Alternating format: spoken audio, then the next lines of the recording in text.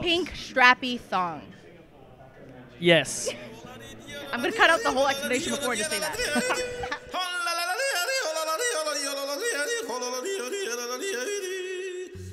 so this is a segment I like to call weird questions.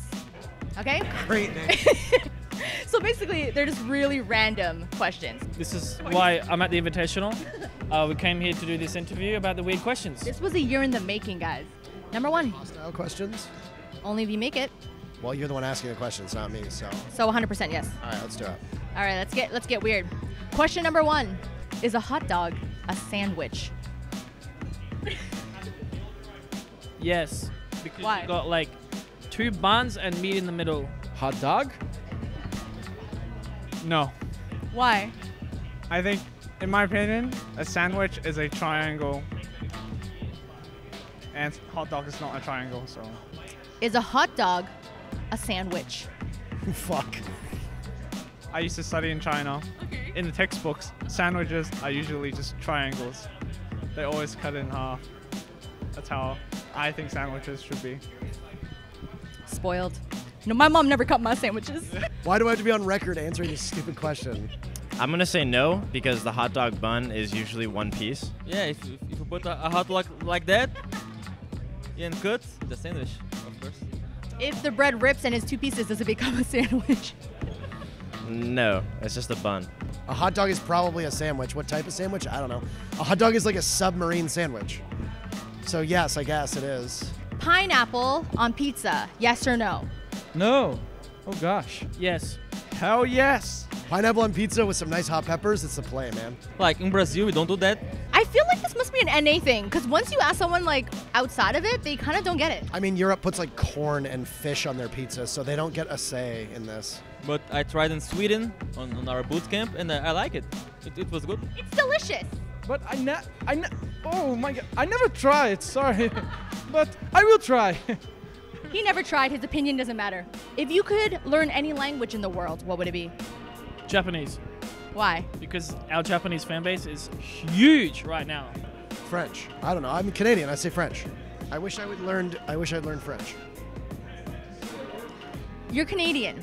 Learning French is part of school. You speak French? We. What else can? Au revoir. Just like leave it. Bye bye. Oh. Wait, uh, I'm gonna think. This is the most stressed out I've ever seen him. I think it would be uh, Korean. I'm just doing these interviews, you know, to be better at English. You are so good. You gotta give yourself more credit. You're amazing at English. Thank you, thank you. Ask me to speak Portuguese. Vamos, vamos Brasil. Okay, cut, cut, cut. Do you know any Japanese words? Shout out to your Japanese fans. Let's go. Uh, konnichiwa, Mac desu. Oen arigatou gozaimasu. Wow, that was more than just one word. I was expecting nothing from you. If you could trade lives with anyone in the scene, so whether it's a player, caster, anyone, who would you want to trade lives with for one day? I think Pengu. I like my life, but I think you know the my biggest inspiration in, the, in this game is Pengu. I feel like it would be cool. Like I don't want to say like the cheesy thing. I'm sure everyone would be like, oh, like I want to be Beaulo for a day or I want to be Pengu for a day. But like you know, that those are their lives. I want to live mine. So I, I wouldn't really pick any. But maybe maybe Parker. So I could put I could dress him in some real clothes. It would probably be a player, just because I would like to see what the competitive experience for this game is at that level. I want to be good at the game for once? yeah. What if I just said I want to be Lusty for a day to tweet out, you know, Magnet is the best on his Twitter? I'll be Kex. Why? I love my long, beautiful hair. If you can eat one thing for the rest of your life, what would it be? Hmm. Sushi. I told you these were gonna be hard questions. These are not even like funny questions. These are deep questions. I, li- I seriously have to think about this stuff. If I had to eat one thing for the rest of my life. Ooh. Ramen. I don't know. Probably salads, because uh, it's just I'm very, I'm very utilitarian with this one. Um, you can do so much with them. You can put protein in them. You can go full vegetarian, vegan. Sushi is my answer, by the way. It's sushi. Do you have commitment You problems? guys say salads. Who's coming on this show and saying salads? Now, if the opportunity presented itself, which of your teammates are more likely to steal your food, your lunch? Who would snipe it from you? Magnet. He, he's also watching right now. Yep. We're talking about you. Lusty. And he doesn't even have to have the opportunity. You'll have a plate of chips in front of you. He's already grabbed it. They're his chips. He constantly takes everything that I own. He just doesn't care. Like yesterday, what? I was drinking a, a bottle of Coke, and he just like takes it away.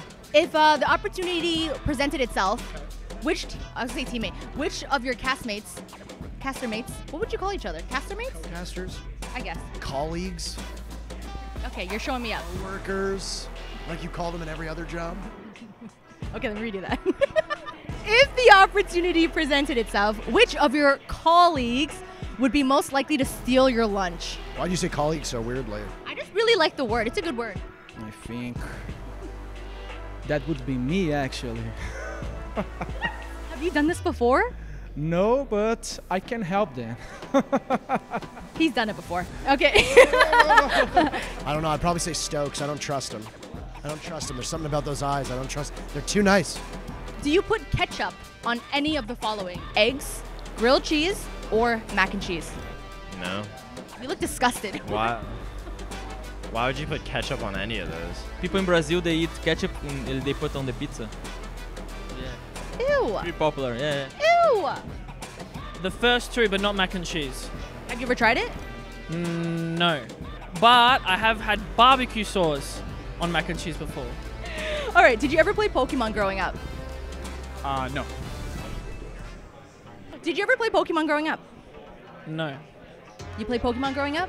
Absolutely. Absolutely, I play Pokemon. You're gonna ask me. I know you're gonna ask me. Because you looked at my card. What's your first starting three? Po- what's your first starter Pokemon? That's wrong. I actually wasn't gonna ask you that. Oh, you weren't? If you can have any Pokemon as a pet, who would you choose? I think Ditto. I like Ditto. Why Ditto? That's that's cheating. That's like having every Pokemon. Yeah, he's just like a lion, pink and like he's really basic, but can transform. He's the best. Arcanine is the best Pokemon. There's no other answer. Next question. Who would you want? A real life Pokemon. Ooh. Ooh, where are you looking? It's not like they're out there. You're like, I would choose Magikarp because I think Magikarp would taste really good. if you can play Rainbow Six with any celebrity in the world, who would it be? I think I like rap a lot. Maybe like Snoop Dogg. Leonardo DiCaprio, I want to play with you Rainbow Six Siege. I don't think I would pick any celebrities because it'll be bad at the game. Kevin Hart. Yes, Kevin Hart. He'd be so funny to play with. He'd be so good to play with. I love Kevin Hart. And I'd be taller than someone.